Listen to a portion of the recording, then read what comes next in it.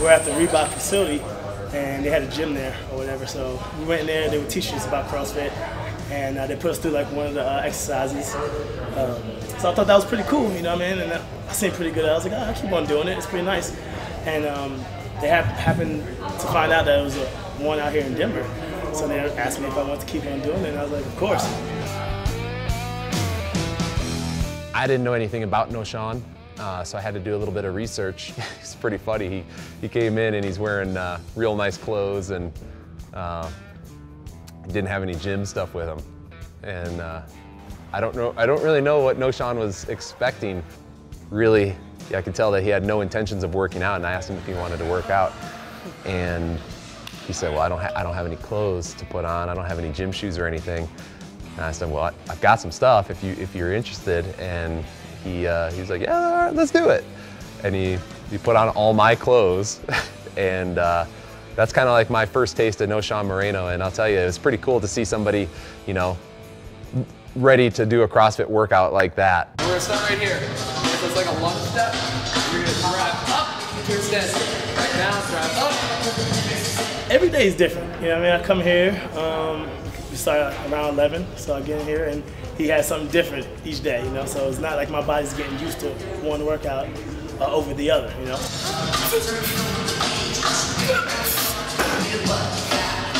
How many? Just coming in here and hearing what he has to say, he's like, oh, today's gonna be a good one. So I'm like, all right, I know it's gonna be a tough one. It's always tough. But at the same time, it's helped me out. It's helped me build uh, muscle faster. And my endurance, I feel like, is getting better also. I know that their, their plays are short. The time that they're in the game is sometimes very limited, but when they're required to do work, it's, it's explosive.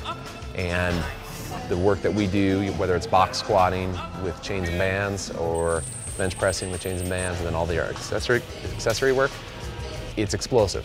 And we're trying to move a, a very large load long distance and quickly.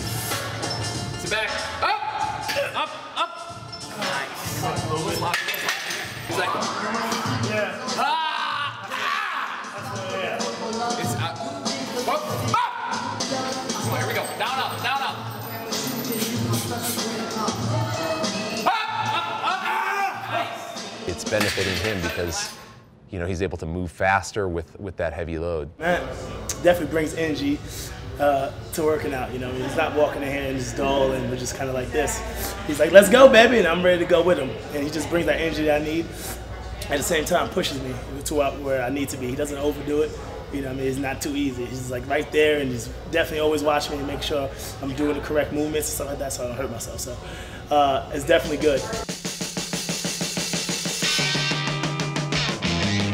Knowshon doesn't like working out on his own.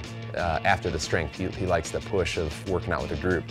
So it's pretty funny, you know, if it's just he and I and I'm coaching him, he'll ask Cherie or Joylyn or one of the other people that are around doing office work to, hey, you want to work out? it's pretty funny. And uh, I mean, even our cleaning ladies sometimes, like, hey, come on over, you want to work out with me? but uh, I said, hey, you know what? I'll tell you what, why don't you try this? Let's, uh, let's have you come in at 11 o'clock. We'll get the strength stuff knocked out. We'll have a 15 minute rest and then you can jump into the group workout.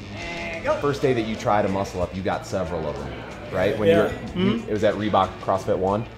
And uh, are there any movements? Because this is good for other people to hear that you know a professional athlete has a hard time with movements. Are there any movements that you've come in here and had a really hard time with? What would it be? I think the mus, the mus, yeah, yeah. The, The muscle the thrusters. Uh, Talk about that. Why, why is that hard for you? Why is the thruster hard for you? You know, just getting back like that. You talking about which one's the thrusters again? You talking about the, That's the um, one where we have a front rack position. You squat with it and then press it out overhead. I know you. like this? That one? Yeah, yeah, that's it. I just can't. I can't get my my uh, elbows to stay up high enough. You know, because I, when I go down, everything's falling forward. Right. So it's tough to keep my chest up and this up at the same time. I don't know why, but you know, just keep on working on it. Sure. And uh, you know, it's it's one of those things that you know we, we work on flexibility stuff. Um, Yeah. Afterwards, after our classes, we do some mobility stuff. If if I know that we're going to be doing thrusters for the day, we'll step up uh, and try to loosen up some of that and or that that posterior uh, chain of muscles on the on the back of his shoulders, you know, his rear delts, stuff like that, teres major and minor, because he is super duper tight here. So getting into a good front rack position is difficult for him, and especially for a, a thruster where we don't have the fingertip grip, he has a real hard time holding on to the bar and doing it. So, you ready for the class? Yep, let's get it. It's silent in here. Woo! Shoot! Group work is always fun. Uh, because you, you, you see where you're at, but you also see where everyone else is. It could be someone that's older than you, younger than you, and then doing you know fast, doing it faster than you. So you're just like competing with them, but also competing with yourself.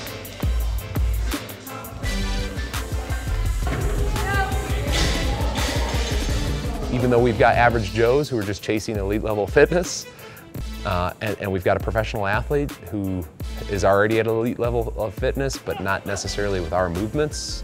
Um, it's cool to see them get together and the, the atmosphere that our, our group classes have push, push both of them. In the group classes, I'm kind of limited as far as what control I have over uh, what his workout is. You know, I don't want to, I don't want to have him doing a second or a different workout than everybody else because it kind of eliminates the competition side of that. So uh, I'll alter some things just so he can focus on his weaknesses, but for the most part, he's doing the same workout in the group classes as everybody else. That's it.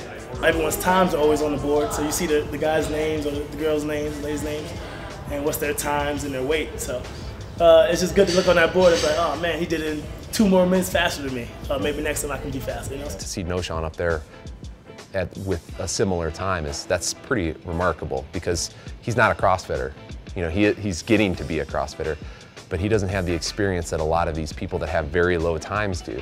So the fact that he's competitive with our group classes is, is pretty cool, and you can see that he he definitely looks at other people uh, for a push. You know, if he sees somebody resting less and he is on the same pace as them, you can see that he looks at them and then and goes back to it. So those group classes, you can they definitely push him. He's an incredible athlete. He's learned that you know how some of this translates into football. To get your elbows in and get that external rotation, that's a much stronger position than benching out here with his elbows out. And I was like, you know, if you're going to block, where are you going to block from? You're gonna block from here, you're gonna block from here. Doesn't make any sense to block from here. Definitely, you know, started to see how a lot of the movements that we do transfer directly into the, his his sport. Come out here and get on the rings, get on the bars, stuff like that's kind of just fun. Yeah. So those different things. I mean, we, I mean, it's not that many exercises that we haven't done, you know, lifting wise. You know what I'm saying? So to get on the bars is something different. So it's a challenge. It's good. Did uh, a max out of pull-ups, and you know, he, you could tell, I, I, could tell he was really nervous, which is good because you know he's taking it seriously and he wanted to do well.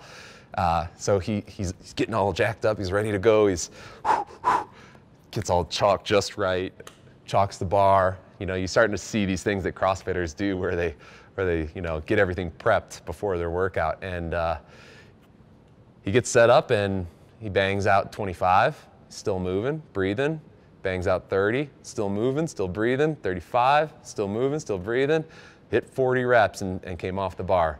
And he came off and you could tell he was just stoked. And uh, I, I gotta tell you, I was too. I mean, he set a goal for 25 from 14 and he got 40 in one month's time.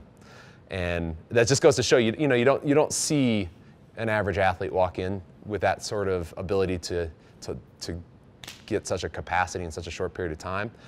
But I will tell you that he has worked his ass off for the last month, and uh, I'm really excited for him as soon as he gets into his preseason here because he told me the other day that he's in the best shape that he's been in coming into the preseason. So I'm excited about it. Last couple years, I was working out hard. I was getting bigger, faster. Um, I was starting the season a little bit heavier, maybe not as lean as I should have been.